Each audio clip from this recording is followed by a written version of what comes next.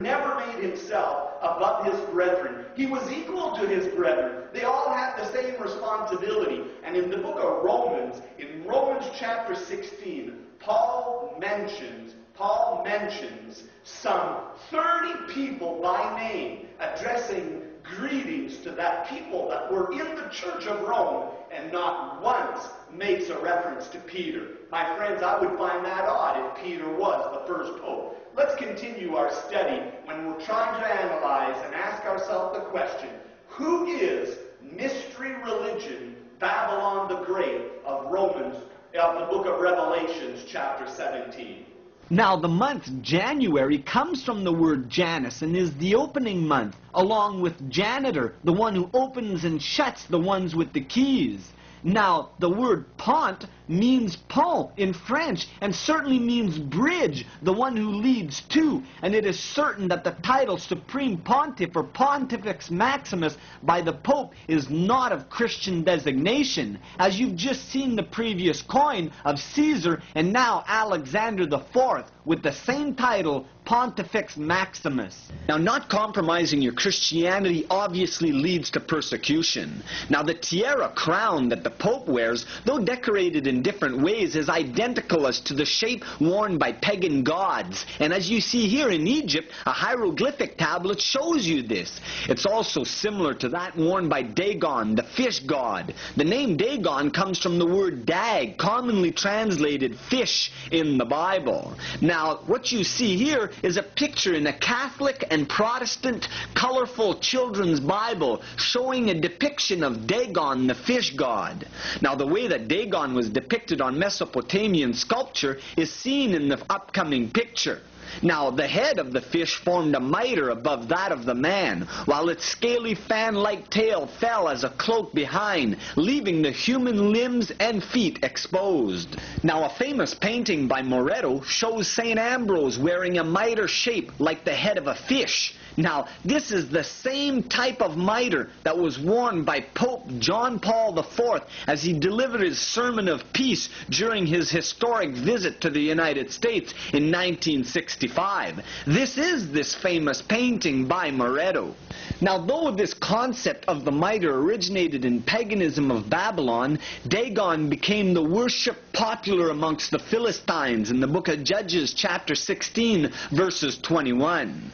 Near the high altar of St. Peter's is a large bronze statue, supposedly of Peter. This statue is looked upon with the most profound veneration, and its foot has been kissed many times. The photograph that you see here shows former Pope John Paul XIII about to kiss this statue, which is dressed up in rich papal apparels. Now, the practice of kissing idols is not uncommon to the heathens. In the days of Elijah, multitudes had bowed down to the Baal and kissed him. Yet God said, I have left unto me 7,000 in Israel, all the knees which have not bowed to Baal, and every mouth which has not kissed him, in 1 Kings 19.18.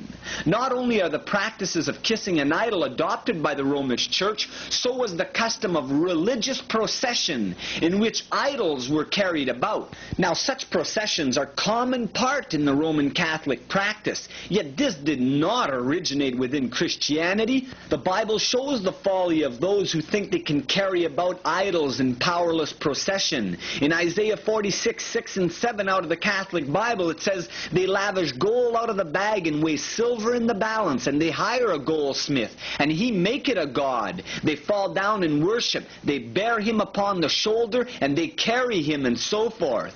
Now, religious procession was found in pagan countries such as Babylon, Egypt, Greece, Ethiopia, and Mexico. Now, not only have such processions continued in the Roman Church in which an idol is carried about, but the Pope is also carried in procession. In Isaiah's time, the people lavish silver and gold on their gods. Today, expensive garments and jewels are placed on the Pope. Now, everyone's seen this on television where it, it did not originate from Christianity, where they bore upon their shoulders people that they looked up to as gods. When the pagan god was carried in procession, the people fell down and worshipped. Now, even as a god was carried about upon their shoulders, so do men carry the Pope, the god of Catholicism, upon their shoulder in religious procession. Now, this is another picture right out of the Catholic Bible, and they reverence the Pope as Vicar of Christ. Vicar means one standing in the place of Christ. Now, over 3,000 years ago, the very same practice was practiced amongst heathen nations. Even today in countries like Hindu or Buddha or China, they do practice religious procession. Now, let's go to our program on television only for you to see a religious procession of the God of Learning in this program on cable television. A comparison of papal procession of today and the ancient pagan procession of Egypt or any other pagan country shows that one is just a copy of the other. Now, in the 15th century BC, an image of the Babylonian goddess Ishtar was carried in religious procession, and people falling down and worshiping. Now, worship can be an adoration, which means the same thing. Take a look at this picture and tell me if this person does not want adoration. Now, in the upcoming picture, an Egyptian priest king, we notice that he uses the flabellum, a large fan made of feathers. This was later known as the mystic fan of Bacchus. And even as this fan was carried in procession with the pagan priest king, so also are these fans carried in procession with the Pope on state occasions. Here's a picture of the Catholic Encyclopedia along with the next picture out of the Catholic Bible showing the religious procession. Everybody notices the flabellum, a large fan used to fan their pagan gods. Now, the Encyclopedia Britannica says when going to solemn ceremony, the Pope is carried on a sedia, a portable red chair in procession, escorted by two fabellae of feathers. Now, that these processional fans originated in pagan Egypt is known and admitted by the Catholic writers. Now that the papal office was produced by a mixture of paganism and Christianity, there can be little doubt. The flabellum, the fish mitre, the Babylonian garments, the mystic keys, the title Pontifex Maximus were all borrowed from paganism. Standing at the very head of the Roman Catholic Church is the Pope of Rome. This man, according to Catholic doctrine, is the earthly head of the Church and the successor of the Apostle Peter. According to this belief, Christ appointed Peter as the first Pope, who in turn went to Rome and served in this capacity for 25 years. Now, beginning with Peter, the Catholic Church claims a succession of popes which has continued to this day. Now, this is a very important part of the Roman Catholic Church. But do the scriptures teach that Christ ordained one man to be above all others in the church? Can we find any scriptural authority for the office of a pope or even a supreme pontiff? And did the early Christians recognize Peter as a supreme authority?